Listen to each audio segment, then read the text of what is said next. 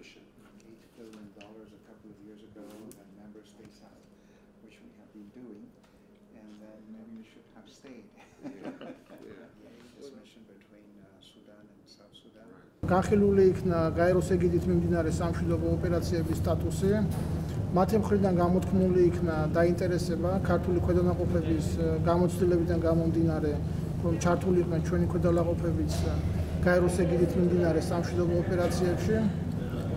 Э, აღნიშნულთან დაკავშირებით ჩვენი მისიის ხელმძღვანელობა გაეროში უკვე დეტალურად განიხილავს ხელმძღვანელობასთან მისიის დეტალებს.